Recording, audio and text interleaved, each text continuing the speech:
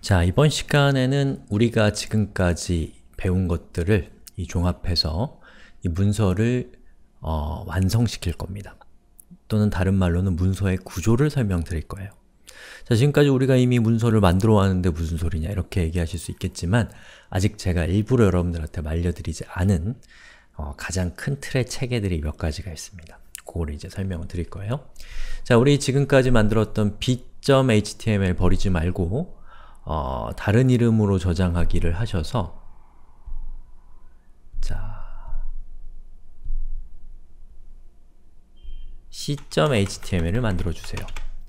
자, 맥을 쓰시는 분들은 좀 복잡하면은 그냥 파일을 복사해서 예, c.html을 알아서 만들어 보세요. 자, 그리고 밑에 있는 요거 있죠? 요거 필요 없으니까 싹 지우고 위에 있는 것만 남겼습니다. 그리고 여기 있는 b.html의 저 주소에 이름을 c.html로 바꾸면 우리가 파일을 직접 열지 않고도 이 주소에서 살짝 파일명만 바꿔주면 이렇게 이 파일을 열 수가 있어요. 실제로 자, 여기까지 잘 따라오셨나요? 자, 그럼 저는 여기에 이 문서를 조금 그럴듯하게 만들기 위해서 여기에 우리 수업의 그 대문 페이지에 있는 여기 선행학습 뭐 이렇게 적혀 있는 거 있죠? 요거를 복사해서 여기다가 이렇게 붙여넣기 할 건데요. 여러분들 저랑 똑같이 할 필요 없어요. 아무거나 그냥 대충 입력하세요. 여러분은 지금 실습하는 단계니까 괜히 또 저랑 똑같이 하려고 노력하시면서 힘소진하지 마시고 편하게 그냥 ABCD 이렇게 입력하셔도 상관없습니다. 저는 수업이니까 너무 못생기면 안 되잖아요. 그러니까 조금 골격을 갖춘 거예요. 자, 이렇게 가져왔습니다. 그러면 우리 이 문서를 보면 선행학습이란 부분이 딱 봐도 제목같이 보이죠? 그럼 저는 여기 선행학습이라는 부분을 우리 이전에 배웠던 거잖아요. 큰 제목은 h1이라고 하면 되겠죠. 그리고 뭐 나머지는 좀 무시할게요. 자, 수업의 목적도 h1이라고 할게요. 자, 그리고 c.html을 열어보면 자, 보시는 것처럼 이런 모습의 웹페이지를 우리가 완성할 수가 있죠. 그리고 여기 있는 글 목록들은 뭐 글 목록이라고 표현하면 좋을 것 같고요. 그리고 왠지 이 문서 전체의 제목을 어, HTML로 하면 더 좋을 것 같네요. 자, 그러면 한번 해볼게요. 자, 우선 제일 위쪽에다가 이, 수, 이 웹페이지 전체의 제목인 HTML을 입력하고 이 HTML을 가장 큰 제목이라고 한다면 음, 이렇게 그럼 밑에 있는 선행학습, 수업의 목적 이런 것들은 HTML보다는 작은 제목이겠죠. 그러니까 이렇게 되면 이 제목들의 제목들을 h2로 강등시키면 자, 보시는 것처럼 좀 더 작은 제목이 된 것을 볼 수가 있죠. 예. 자, 그런데 여기 보시면 c.html 이라고 되어 있는 거 보이시죠? 여기에 뭐가 나와 있나, 마, 뭐가 나와 있는 건가요? 우리의 이 파일의 이름이 여기에 표시되고 있어요. 예를 들면 여러분이 뭐 페이스북이나 뭐 트위터나 이런 여러 가지 이 저명한 사이트에 가보면 이 제목에 저렇게 없어 보이게 파일명이 적혀 있는 것이 아니라 자기들의 브랜드라든지 아니면 어떤 그 웹페이지의 가장 대표적인 정보가 여기에 이렇게 착 그럴듯하게 적혀 있는 거 본적 있으시죠? 자, 그걸 할 때 사용하는 태그가 있습니다. 어떤 태그를 쓰면 되냐면 타이틀이라는 태그가 있어요.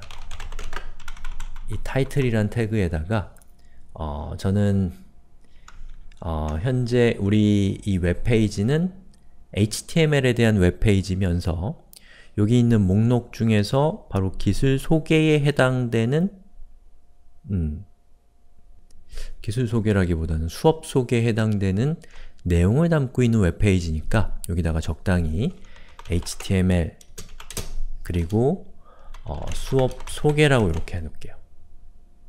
그리고 이렇게 그 리로드를 하면 보시는 것처럼 제가 입력한 타이틀에 해당되는 내용이 여기에 탭의 제목으로 표시된 것을 볼 수가 있습니다.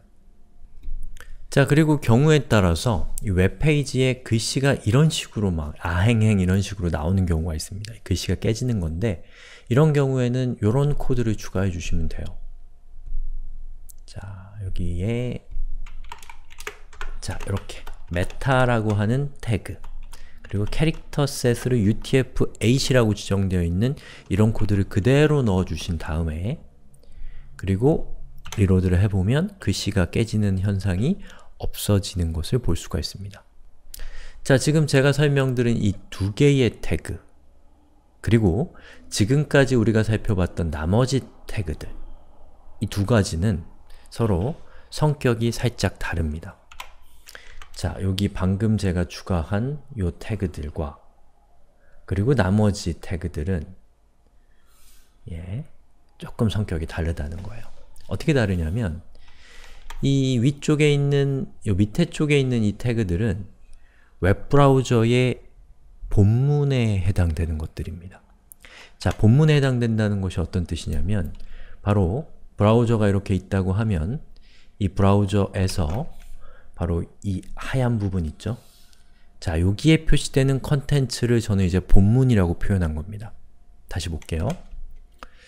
어, 방금 보셨던 이 문서에서 여기 제가 이렇게 강조 표시하는 이 부분 예. 아이고야 자, 여기 이만큼은 본문에 해당됩니다. 자, 그런데 그 위에 있는 이 타이틀이라든지 또는 UTF-8이라고 되어 있는 저거라든지 이런 것들은 본문에 해당되는 건 아니에요. 다시 말해서 어... 자, 이 위쪽에 있는 이 정보들은 이 문서의 본문에 해당되는 정보는 아니지만 이 문서 자체를 꾸며주는 역할을 합니다. 예를 들면 이 문서의 제목은 이거야. 또는 이 문서의 문자는 이런 식으로 저장되어 있어. 이런 것들을 가리켜주는 부가적인 정보라고 할 수가 있는 거죠.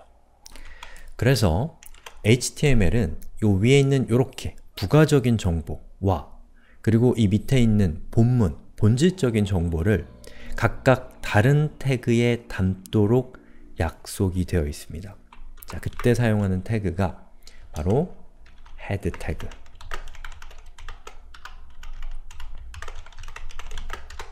음. 본문이 아닌 태그들은 head 태그 아래 들어옵니다.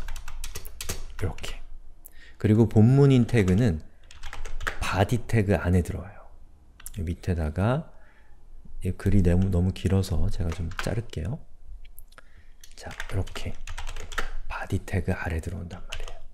여기, 여기에서부터 이렇게 body 태그 안에 있죠. 그리고 여기 있는 태그들은 헤드 태그 안에 있습니다. 즉, 타이틀 태그는 꼭 헤드 태그 밑에다가 넣도록 약속되어 있어요. meta 태그도 헤드 태그 밑에 약, 넣도록 약속되어 있다라고 생각하세요. 그리고 h1 태그, ol 태그 이런 태그들은 body 태그 밑에다가 넣도록 약속이 되어 있다라고 생각하시면 됩니다. 가벼운 마음으로. 예. 뭐 그냥 정리 정도는 하기 위해서라고 생각하시면 될 것 같아요.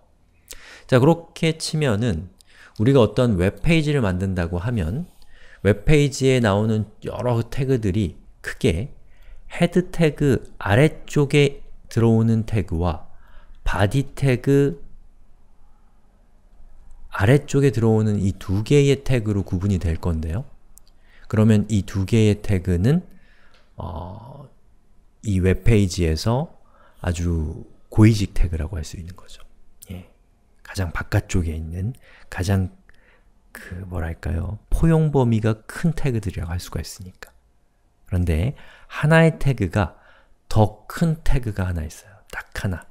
그게 뭐냐면 바로 HTML이라고 하는 태그가 있습니다. 자, 이 헤드 태그와 body 태그는 누구로 감싸주게 약속되어 있냐면 HTML이라는 태그로 감싸주도록 약속되어 있어요. 그래서 여러분이 이렇게 HTML 태그까지 했다면 이제 그 웹페이지의 기본적인 구조는 여러분들이 어, 짤 수 있게 된 겁니다.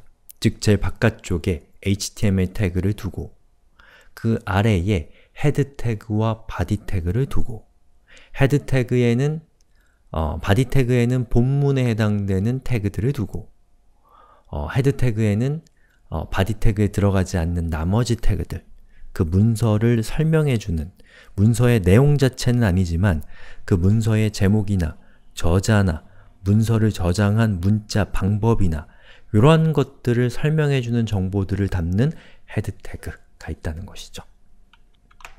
자, 이렇게 해서 우리가 문서를 완성했습니다. 자, 고생하셨고 우리 다음 시간에 조금 다른 차원의 얘기를 좀